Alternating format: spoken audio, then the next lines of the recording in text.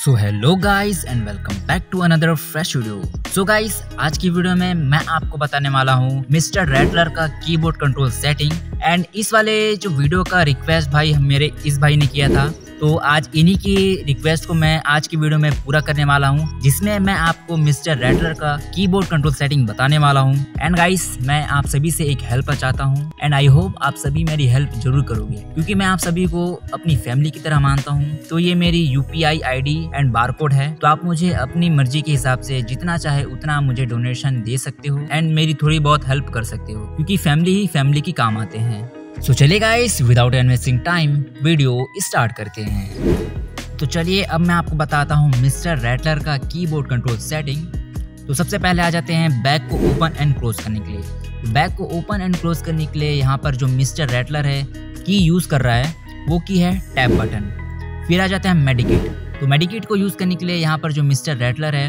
वो की यूज़ कर रहा है। वो की है नंबर फाइव फिर आ जाते हैं जॉयस्टिक तो जॉयस्टिक के लिए A W S D use कर रहा है यहाँ पर मिस्टर रेटलर। फिर आ जाते हैं फ़र्स्ट वेपन को, ठीक है? तो फ़र्स्ट वेपन को यूज़ करने के लिए यहाँ पर जो मिस्टर रेटलर की यूज़ कर रहा है, वो की है नंबर टू फिर आ जाते हैं सेकंड वेपन पर।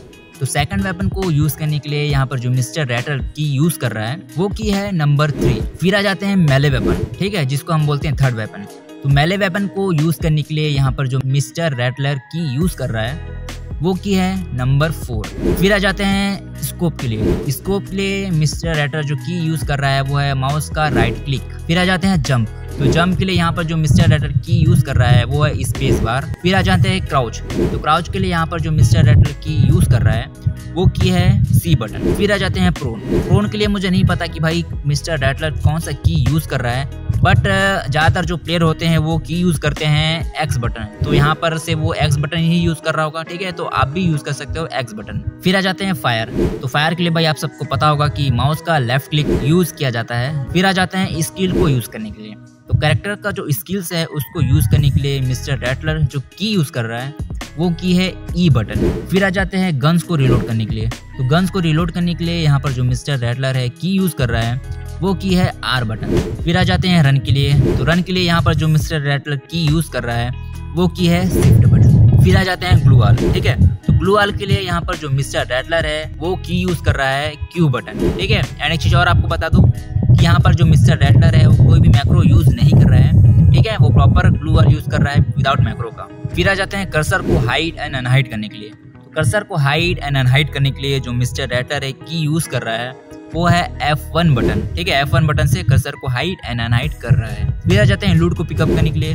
तो लूट को पिकअप करने के लिए यहाँ पर जो मिस्टर डेटलर है, वो की यूज़ कर रहा है एफ़ जी एच ठीक है? ये की यूज़ कर रहा है लूट को पिकअप करने सो गाइस ये थी मिस्टर रेडलर का keyboard control setting I hope आपको आज की वीडियो पसंद आई होगी.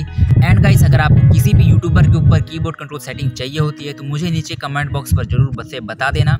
एंड साथ ही साथ हो सके तो जो उस यूट्यूबर का जो हैंड कैम का वीडियो है उसका भी लिंक दे देना ताकि मैं आपके लिए उस यूट्यूबर का जो कीबोर्ड कंट्रोल सेटिंग है उस पर वीडियो ला सकूँ. सो so, चलिए गाइस इस वाले वीडियो में बस इतना ही. मिलते हैं अगले कौन फ्रेश वीडियो में. तब तक के लिए bye bye and take care